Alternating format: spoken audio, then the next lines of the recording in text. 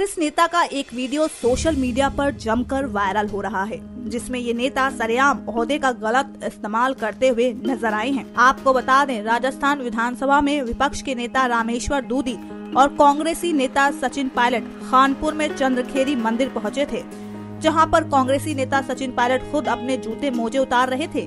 लेकिन रामेश्वर दूधी ने अपना रसूख दिखाते हुए सिक्योरिटी गार्ड से अपने जूते उतरवाने के लिए कहा और इस हरकत को किसी ने कैमरे में कैद कर लिया।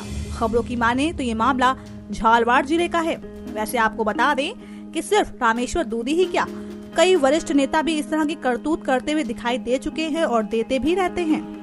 गौरतलब है, बहुजन समाज पार्टी की मुखिया मायावती भी कुछ ऐसे ही विवादों से घिर गई थी।